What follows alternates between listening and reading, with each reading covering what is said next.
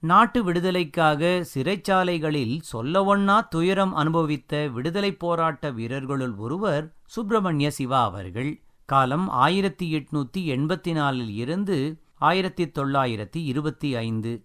முதுபெரும் எழுத்தாளரும் வரலாற்று அறிஞருமாகிய வே. சாமிநாத சர்மா அவர்கள் காலம் ஆயிரத்தி எட்நூத்தி தொண்ணூத்தி ஐந்து ஆயிரத்தி தொள்ளாயிரத்தி எழுபத்தி எட்டு. விடுதலை போராட்ட தியாகி சுப்பிரமணிய சிவா அவர்களைப் பற்றி நான் கண்ட நால்வர் என்ற நூலில் அழகாக விவரித்துள்ளார். நால்வர் என்று அவர் குறிப்பிடும் மேதைகள் திருவிகா வாவேசு ஐயர் சுப்பிரமணிய சிவா சுப்பிரமணிய பாரதியார். நால்வருமே நாட்டுக்கு உழைத்த நல்லவர்கள் என்பதை பறைசாற்றும் நான் கண்ட நால்வர் நூல் சிறப்பான வரலாற்று ஆவணமாக திகழ்கிறது.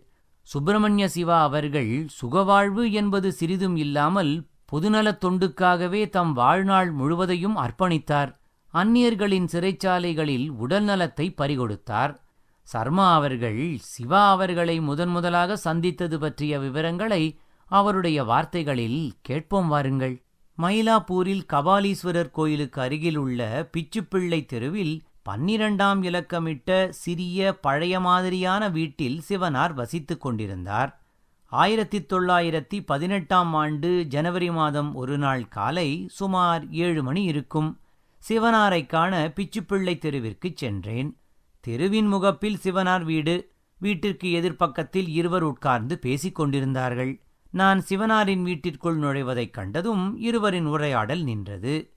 அவர்களில் ஒருவர் வீட்டு வாயிலின் முன்பக்கம் வந்து சிறிது தள்ளினார் போல் நின்று கொண்டு நானும் சிவனாரும் என்ன பேசுகிறோம் என்பதை செவி கொடுத்து கேட்கத் தொடங்கினார்.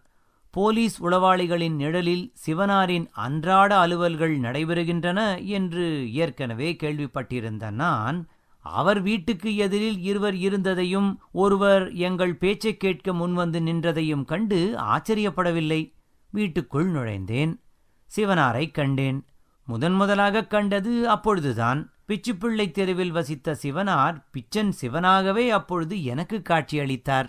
நெற்றியிலே திருநீறு முகத்திலே கனல் வீசும் கண்கள் தாடி மீசை உடலை ஒரு வெண்போர்வை மூடிக்கொண்டிருந்தது. அவருக்கு முன்னால் ஒரு மேஜை. அந்த மேஜையின் மீது காகிதங்கள் புத்தகங்கள் பரவி கிடந்தன. ஒரு பக்கத்தில் அச்சுத்தாள்கள் சில அவரது எழுதுகோலின் உறவை பெற்று அச்சகத்திற்குச் செல்ல காத்து கொண்டிருந்தன. நான் சென்ற சமயம் சிவனார் என் வருகையை எதிர்பார்த்து கொண்டிருந்தது போல் மேஜைக்கு பின்னால் இருந்த நாற்காலியில் நிமிர்ந்து உட்கார்ந்திருந்தார். நமஸ்காரம். வாருங்கள் உட்காருங்கள். யாரென்று தெரிந்து கொள்ளலாமா? என் பெயர் சாமிநாதன் என்று சொல்வார்கள். ஓ வாசுதேவன் சொல்லியிருந்தானே. அவர்தானா? தேசபக்தன் பத்திரிகையில் உதவி ஆசிரியராக இருப்பதாகச் சொன்னான். எங்கே ஜாகை? மயிலாப்பூரில்தானே? ஆமாம் ஆடம் தெருவில் இருக்கிறேன். வாசுதேவன் வீட்டில் சமீபத்தில்தான் பெற்றோர்கள் இருக்கிறார்கள். தகப்பனார் பிஎஸ் பள்ளியில் ஆசிரியராக இருக்கிறார். அப்படியா? ரொம்ப சந்தோஷம். இங்கே அடிக்கடி வந்து போகலாமே. அடிக்கடி வந்து போக வேண்டும் என்றுதான் ஆசை. ஆனால் போதிய அவகாசம் கிடைப்பதில்லை. அவகாசம் கிடைக்காமல் போகாது. என்னை வந்து பார்க்க பயமில்லையா? பயம் ஒன்றுமில்லை. எனக்கு சிஐடி போட்டிருக்கிறார்கள் தெரியுமா?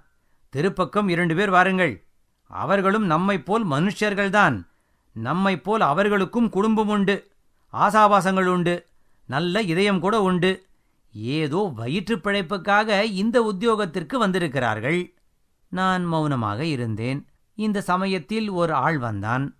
அச்சகத்திலிருந்து வந்தவன் என்று தெரிந்தது.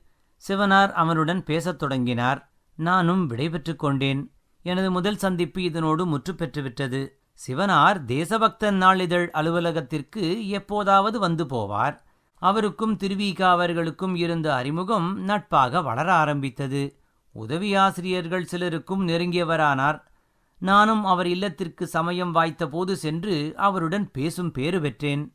விடுதலை வேள்வியில் தம்மையே அர்ப்பணித்த சிவனாரை போற்றுவோம். இத்துடன் ஆசிரியர் எஸ். மதுரகவி அவர்களின் சரித்திரம் போற்றும் சந்திப்புகள் நூலிலிருந்து அத்தியாயம் இரண்டு திருமயிலையில் சுப்பிரமணிய சிவா நிறைவடைந்தது. உங்களுக்காக வாசித்தது ஸ்ரீ ஸ்ரீனிவாசா.